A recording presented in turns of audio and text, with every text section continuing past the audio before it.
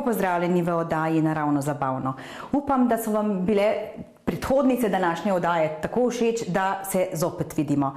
Danes se bomo posvetili nečemu bolj naravnemu oziroma nečemu bolj zahtevnemu. Uh, naravno je sicer zabavno, ampak včasih se je potrebno malček potruditi, da je naravno tudi uh, varno in seveda, da lahko damo iz rok izdelek, na katerega smo upravičeno ponosni. Danes bomo delali milo po hladnem postopku. Milo po hladnem postopku uh, je zadeva, ki, oziroma je izdelek, ki se ga lotite samo, če ste pedantni in natančni. Zakaj? Ker pri tem milu delamo uh, zelo nevarno kemikalijo, ki se ji reče luk. Luk je jedek in zato je treba biti zelo, zelo pazljiv in zelo, zelo natančen pri delu z njim.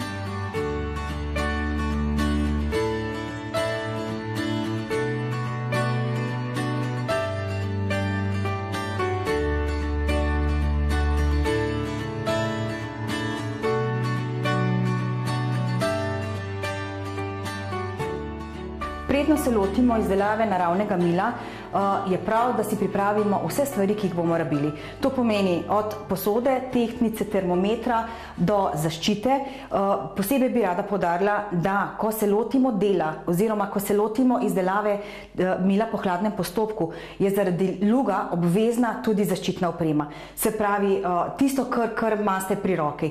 Rokavice obvezno, obvezna je maska, predpasnik, zelo zaželjen, Tisti, ki imate pri roki tudi uh, kakšna očala zaščitna, je prav, da si jih nadenete, če pa ni, boste pa toliko bolj pazljivi z delom pri zlugo. Uh, kadar delamo mila, je prav, da imamo posodo, ki ni, uh, bi rekla, iz rozpreja. Naj bo emailirana.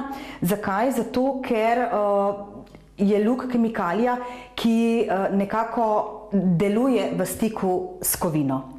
Uh, rabimo posodo za topljenje maščob in gretje. Rabimo dve plastični posodi, ni treba eh, kupovati vam nobenih novih stvari. Tole, kot vidite, uh, tlele notri se mi zdi, da je bila kisla repa, tukaj pa kislo zelje, ampak Podsodi sta v, pri tem delu zelo uporabni. Plastika je prava, da se ne stopi ob stiku z lugom in uh, tudi ta velikost je nekako prava za tako količino mila, kot ga bomo mi delali danes. Danes bomo naredili uh, milo, bomo rekli, iz enega kilograma maščob.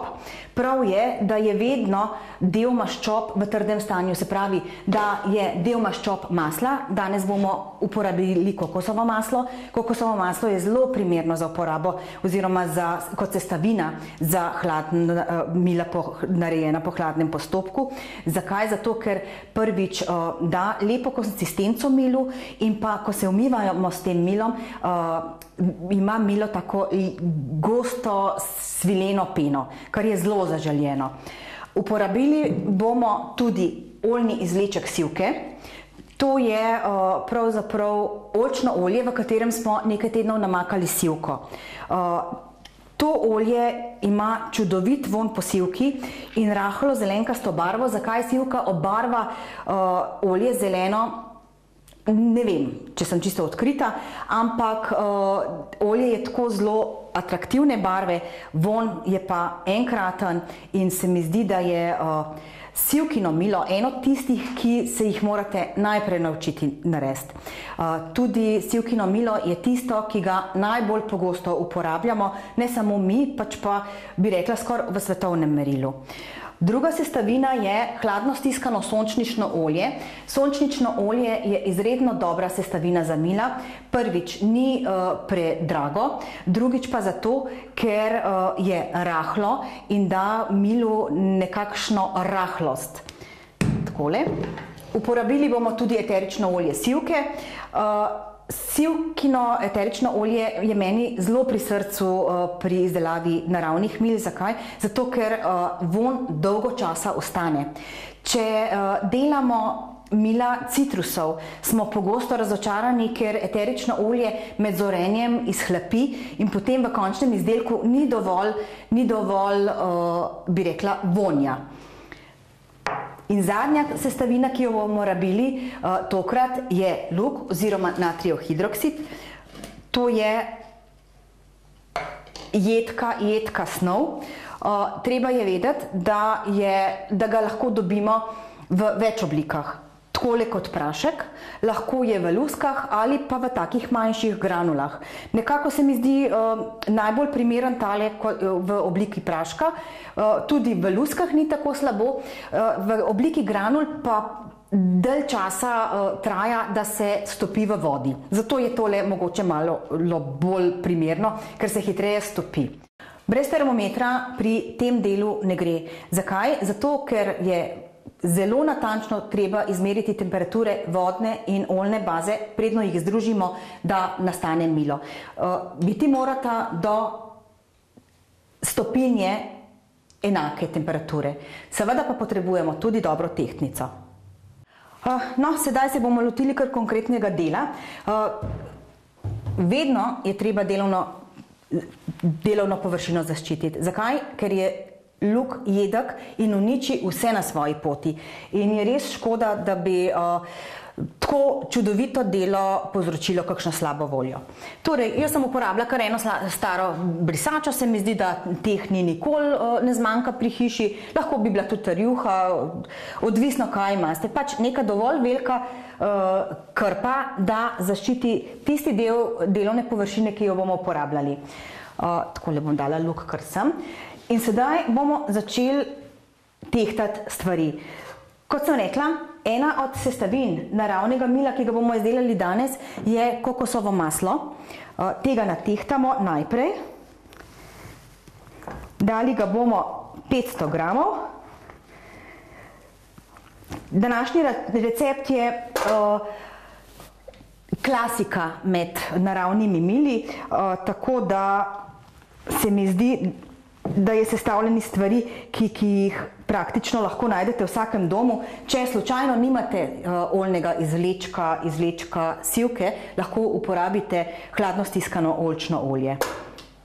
Uh, nujno se mi zdi, da na tem mestu omenim to, da če boste delali milo sami in si zaželeli spremeniti sestavine, kar se tiče uh, oljnih zadev, se pravi olja in masla, uh, morate potem vedeti, v kateri količini dodajate luk. Namreč vsaka uh, maščoba, vsako olje in vsako maslo ima drugo stopno umiljenja, se reče.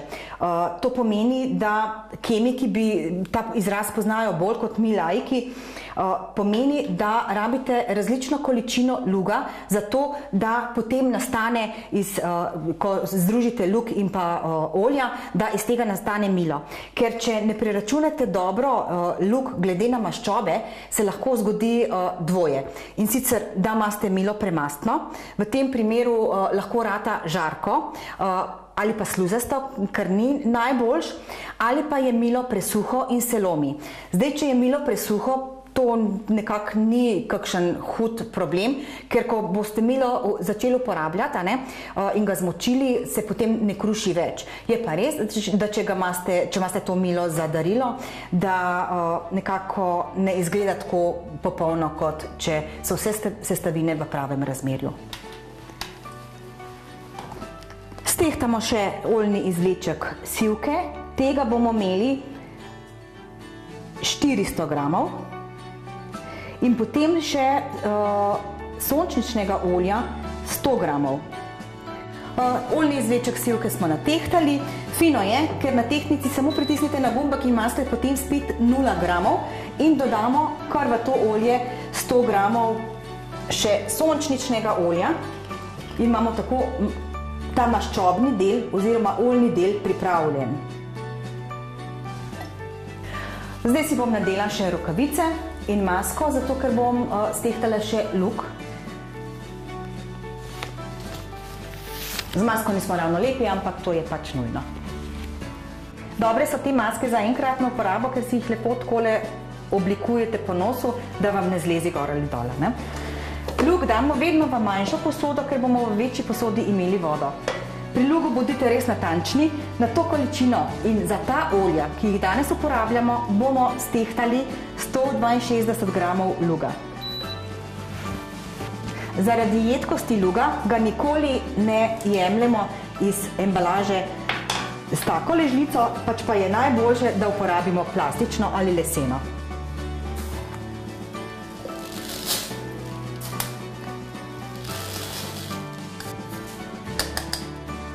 Tako, 162 gramov luga.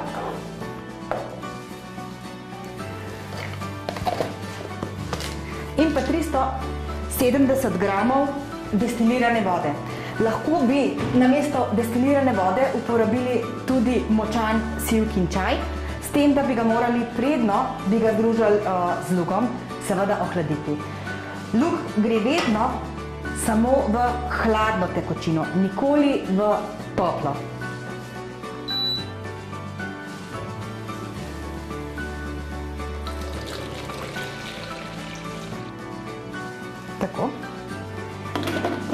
Še nekaj si je treba nujno zapomniti, da vedno luk dodajamo tekočini, nikoli obratno. Ker bi lahko prišlo do kemične reakcije in bi uh, luk v bistvu, ne bom rekla eksplodiral, ampak recimo zavrel in nas poparil. Vedeti je treba, če bi se slučajno zgodil, da se kdo uh, z lugom poškoduje, uh, Takoj je treba politi obolelo mesto oziroma poškodovano mesto s kisom in zdravniku. Tle si pomagati sami ne morete. Tako, zdaj bomo združili luk in vodo. Luk enostavno usujemo v, v vodo in uh, ne rabite biti zelo uh, počasni pri tem delu. Uh, edino, kar je treba paziti, da ne šprica okrog in da ko mešate, uh, luk v vodi, da se ne poškropite uh, s to mešanico. Ne? Ta mešanica se segreje na 80 stopinj in več, zato je treba zelo pazljivo z njo. Še ena stvar bi mogoče uh, bila primerna, da jo omenim. Tega mila nikoli ne delajte skupaj z majhnimi otroci. Tako. Mešamo samo toliko časa, da se luk stopi, potem pa počakamo, da se tale mešanica ohladi na približno 60 stopinj oziroma če je le možno manj kot 60.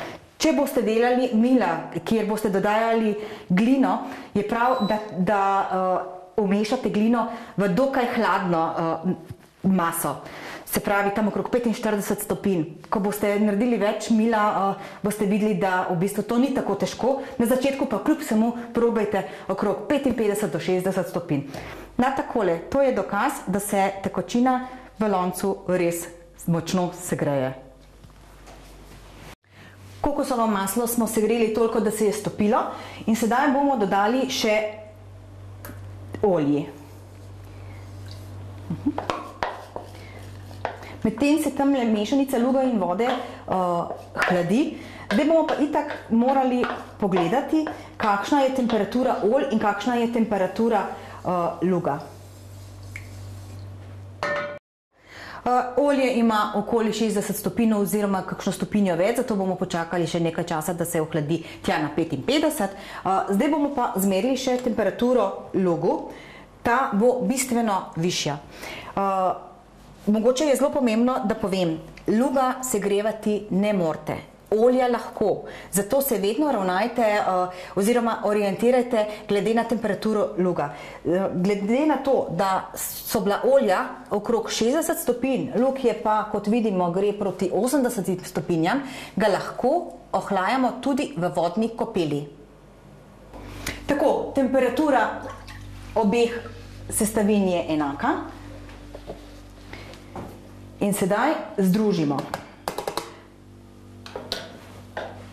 Luk počasi ulijemo v oljno bazo.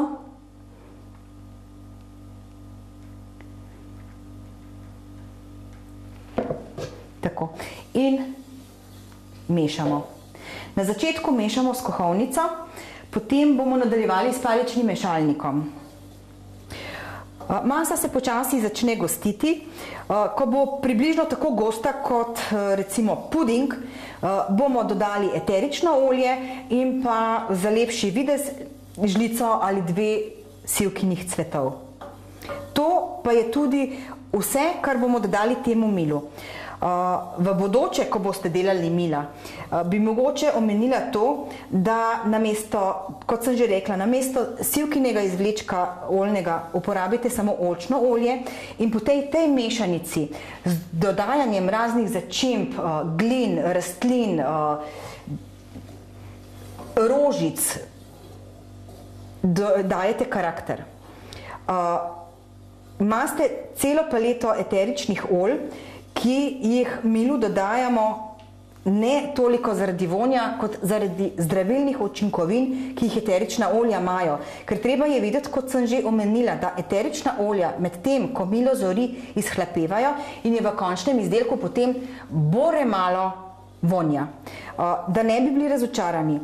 Nekateri, ki imajo radi, kljub samo, da je milo žarečih barv in uh, omamnih vonjav, Pri tej mešanici potem uporabijo parfumska olja, ki so sintetičnega izvora in pa seveda sintetična barvila, kar ni nič narobe, če si to želijo.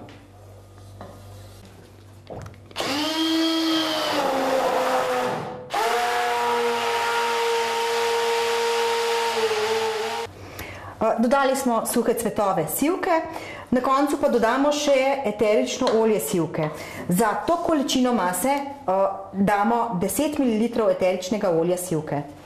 Lahko bi dodali, kot sem rekla, tudi kakšno drugo eterično olje, druge rastline, gline, karkoli pač nam srce poželi. Tako, masa je pripravljena in sedaj jo bomo ulili v kalup. Zelo dobro se obnesejo silikonski kalupi. Tale kalup je, ima silikonsko sredico oziroma vložek in pa leseno ogrodje. Zelo lepa mila pridejo iz tega kalupa, zato se mi zdi, da je zelo primerno, da lahko imate tudi kupite, ne vem, samo silikonski kalup, pa vam nekdo naredi nekaj, da obokate ta silikon, da se mila, da mila obdržijo pravo obliko. Tako, maso bomo ulili v kalup.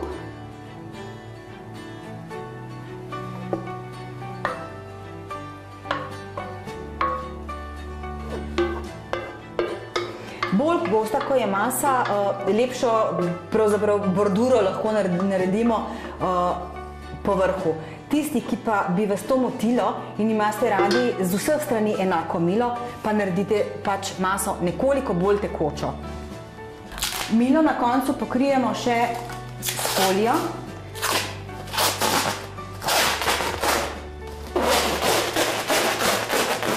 Takole. In sedaj ga zavijemo v brisačo in pustimo tako stati dva dni. Čez dva dni bomo milo stresli iz kalupa. No, po dveh dneh milo vzamemo iz kalupa, takrat dobimo približno takole štruco in ga narežemo.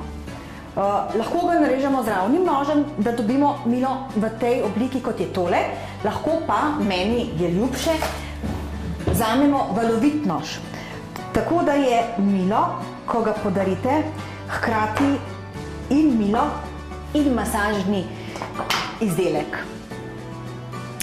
In ta mila damo sušiti oziroma zoreti za šest tednov. Dobro je oziroma priporočljivo je, da daste mila na kakšno rešetko. Lahko je tudi od pečice rešetka, če jo ne rabite več, zato da so mila dvignjena in se sušijo potem šest tednov. Enostavno pa šest tednov pozabite na njih. Če jih imate na polni podlagi, jih morate dnevno obračati. Ko milo narežemo, je treba posebej podariti, da to milo še zdaleč ni primerno za uporabo. Zato, ker v tem milu še vedno luk, ki lahko poškoduje kožo. Na koncu mila lepo aranžirajte. Pravzaprav, kaj veliko tako milo ne rabi.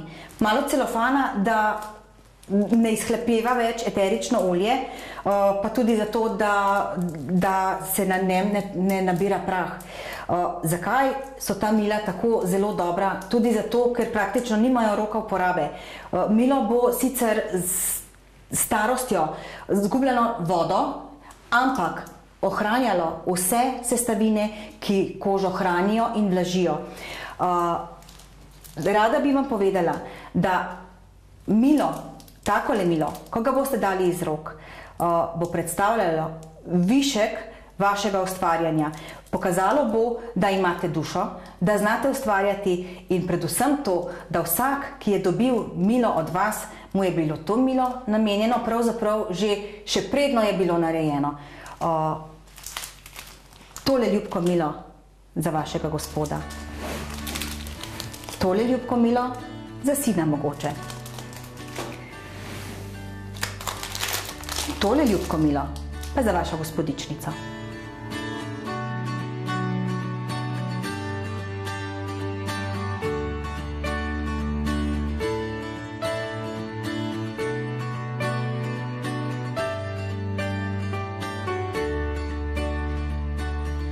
Torej, naravno ni samo zabavno, naravno je tudi zdravo in nad vse, nad vse ustvarjalno.